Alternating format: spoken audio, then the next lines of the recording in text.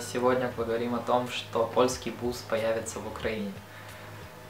Да, не знаю, как э, реагировать на эту новость, резонансная новость, так как уже читаю много комментариев, в основном негативных, что, во-первых, это какой-то э, ЧП эстетик, э, как-то там совершенно, совершенно иной сервис, совершенно иные цены.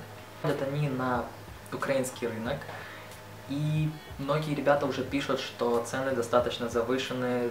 Если там ехать через польский бус, то выходит около 60 злотых.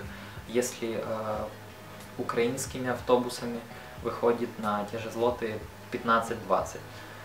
Спрашивается, зачем переплачивать, если это не те автобусы, которые ездят здесь по Польше. То есть это не тот сервис, что у тебя есть и интернет, и зарядка, и туалет, и комфорт. Да, и э, этот вот польский бус планирует перевозить пассажиров из Польши, ну, точно так же из Украины.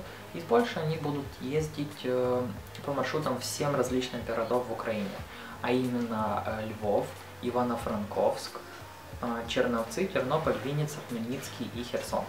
Не знаю, с чем связаны э, данные направления, но как бы Львов, Хмельницкий, Тернополь, э, Ивано-Франковск еще ладно, понятно, но почему в данном списке а, нету Одессы, Киева, Харькова, Днепропетровска, как-то непонятно.